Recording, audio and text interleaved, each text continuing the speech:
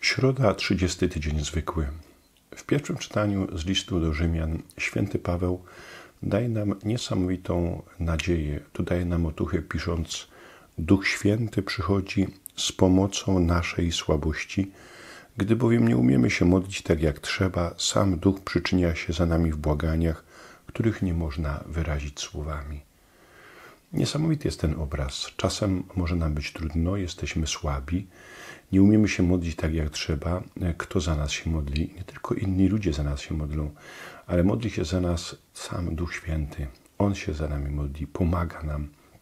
Czasownik użyty tutaj jest taki sam, jak używa święty Łukasz, kiedy pisze, opisuje e, spotkanie Jezusa u Marty i Marii, narzekania Marty wobec swojej siostry, żeby, żeby jej pomogła e, zajmować się obowiązkami, żeby mogła pomóc. Tak samo w Starym Testamencie ten sam czasownik użyty jest na określenie sędziów, którzy mają pomóc Mojżeszowi, żeby on nie musiał sądzić cały naród, bo w ten sposób będzie wymęczony, żeby go troszeczkę odciążyć. Duch Święty nam pomaga. On nie jest tylko y, kimś, do kogo się modlimy, ale jest, jest realną pomocą, stoi po naszej stronie. I może tego nie czujemy, może tego nie doświadczamy, może nam się wydaje, że, że po prostu ta nasza modlitwa jest słabością, ale pamiętajmy, to co my wypowiadamy, to nie jest wszystko.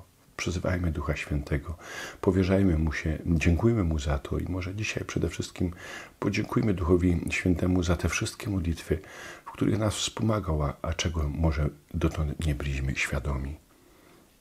Psalm 13 jest psalmem, który już był kiedyś i mówiliśmy sobie o tym, jak to jest psalm e, bardzo tragiczny, psalm, w którym e, psalmista mm, zadaje Bogu pytanie, jak długo będzie Pan Bóg zapominał i, i kończy zaufaniem, bo jedyny sposób na całą tragedię, jaki człowiek w życiu doświadcza, to jest zaufać Panu Bogu.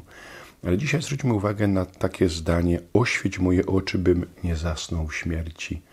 Można by też przetłumaczyć: Oświeć moje oczy, bym nie zasnął na śmierć. A więc z jednej strony może to chodzić o to, że wyciągnij mnie z tej jaskini, gdzie jest ciemno, e, bo jak tam będę siedział w takim dole, to prędzej czy później umrę. Nie chcę po prostu umrzeć. Ale może też oznaczać oświecić moje oczy, żebym ja widział, o co w tym wszystkim chodzi, bo ja po prostu jestem pogubiony. Jeśli Twoje słowo jest lampą u moich stóp, to jest mi łatwiej iść, ale jeśli nie jest, to ja już nie wiem, że największym dramatem w moim życiu, ja nie wiem, czemu się tak dzieje. Ja nie wiem, czemu mój wróg nade mną się wynosi, ja nie wiem, dlaczego Ty, Panie Boże, jesteś z daleka, nie wiem. Proszę Cię o światło, czyli o tą świadomość, gdzie ja idę, w jakim miejscu stoję, dokąd to wszystko zmierza. Czasami najbardziej boli nas nie, tylko, nie tyle ból, ale taka niewiedza po prostu z powodu tego, dlaczego, po co, jak długo, dla kogo. Więc to jest prośba psalmisty bardzo taka konkretna. Panie Boże, proszę Cię, żeby, żebym po prostu miał światło, żebyś mi dał światło i świecił, gdzie jestem, gdzie jestem, na jakim etapie mojego życia, żebym się nie pogubił w moim życiu. Więc proszę Cię, proszę Cię tutaj o światło. Ewangelia Łukasza mm, y, zaczyna się od takiego bardzo ciekawego i intrygującego też dla nas pytania. Otóż ktoś zapytał Jezusa: Panie, czy tylko nieliczni będą zbawieni?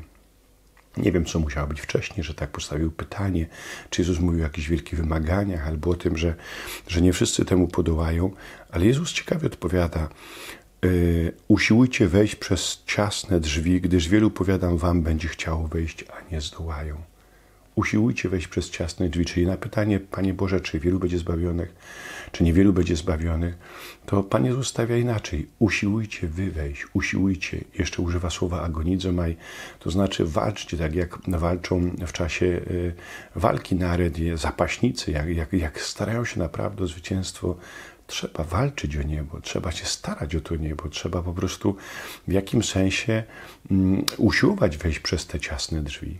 I to widać, jak my bardzo mało wierzymy Jezusowi. To znaczy, może kiedyś ludzie bardziej wierzyli w to, że trzeba się starać, trzeba się modlić, trzeba żyć dobrze, trzeba spełniać Boże przykazania. Teraz częściej albo nie wierzymy Jezusowi w ogóle, albo mówimy, nie, to niemożliwe, żeby Pan Bóg nas nie wpuścił do nieba. Musi nas wpuścić, bo my po prostu jesteśmy grzeczni, my jesteśmy Jego dziećmi, my po prostu jesteśmy ludźmi. Natomiast te słowa, walczcie, starajcie się, usiłujcie Jezusa pokazują, że nie powinniśmy zatrzymywać się na poziomie takich dyskusji teoretycznych, czy wejdą do nieba, czy nie wejdą, czy wierzący będą zbawieni, a czy niewierzący nie będą zbawieni. Starajcie się wejść. Starajcie się wejść, bo naprawdę warto.